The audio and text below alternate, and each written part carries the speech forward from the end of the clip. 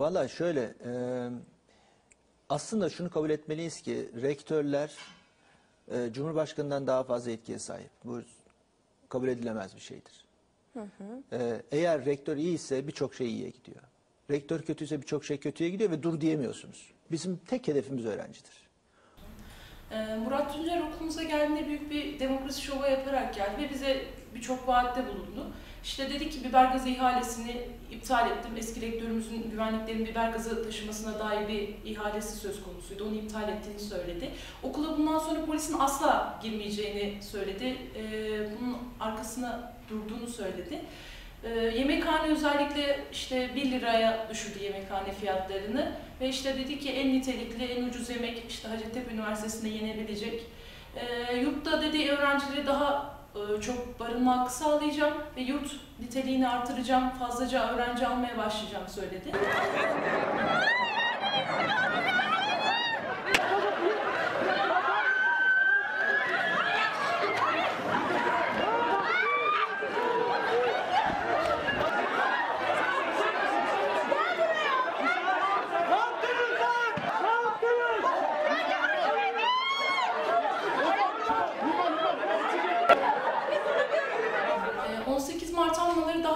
Çana, e, Hacettepe Üniversitesi'nde oluyordu zaten. Fakat bu genel olarak okulun yaptığı bir etkinlik olarak yapılıyordu. Fakat bu sene değişen bir şey vardı.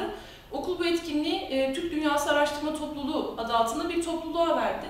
Bu topluluk içerisinde işte ülkücü, kendine ülkücü diyen e, insanların barındığı faşist bir örgütlenme aslında topluluk adı altında.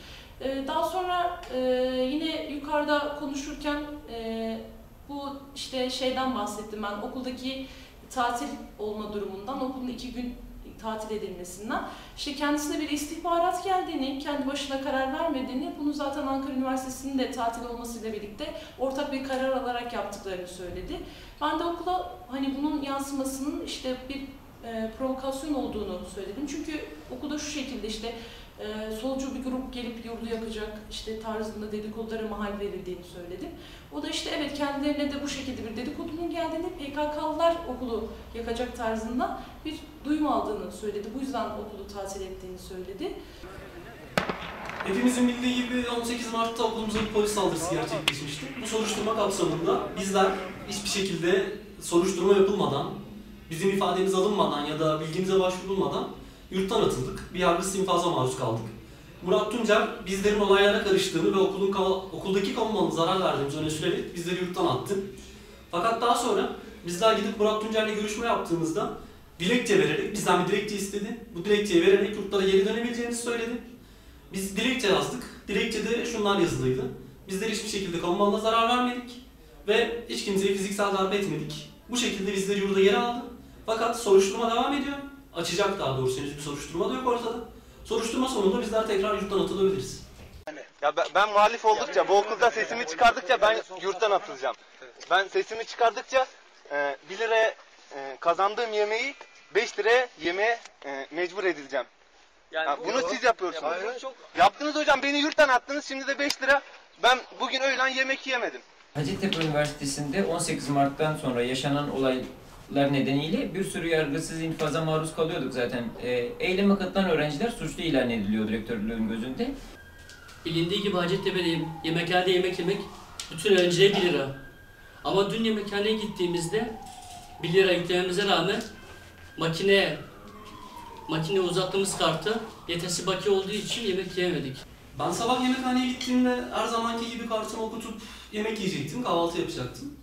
Fakat kartımı okuttuğumda her zaman 75 kuruş kesilir. Sabah kahvaltıları 75 kuruştur. Fakat bu sefer 1,5 lira kesildi. Ben anlam veremedim ne olduğuna.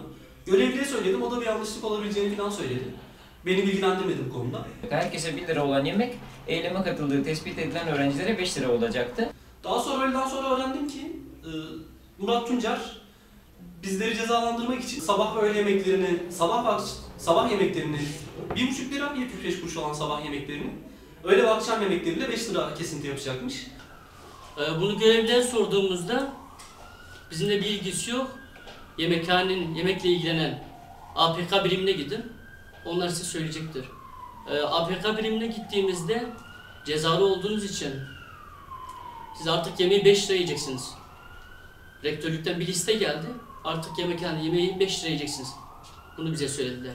Ya biz bunu öğrendikten sonra e, ilgili birimlere dolandık ve siz cezalısınız böyle denildi. Bunun üzerine rektörlüğün K salonunda e, İBF öğrencileriyle bir toplantı halinde olduğunu öğrendik.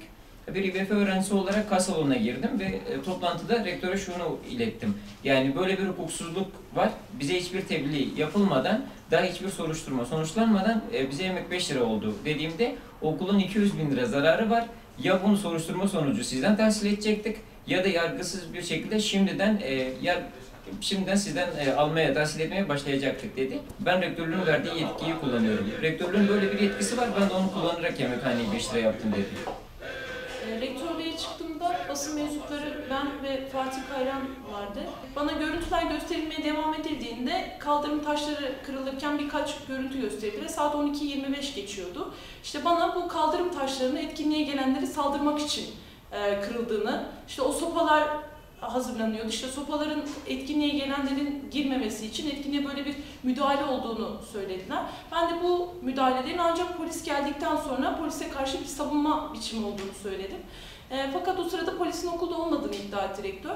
Bir sonraki fotoğrafa geçtiklerinde saat yine 12.25 geçiyordu ve biber gaz atılırken bir görüntü gördük. Ben de rektöre bakın hani polis bu şekilde o saatte okula girdi dedim. Ve ondan sonra bir bir şey söylemedi fakat o sırada Show TV muhabiri e, de bana hak verdi. Ondan sonra bir Murat Tuncer tekrar özür diledi. Yanlış yapıyorsun. Hocam tek bir şey yanlış. İçeride şöyle bir cümle kurdunuz mu?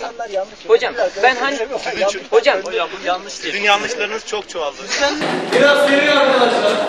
Arkadaşlar biraz seri geçelim. Öğlen 5 lira olduğu için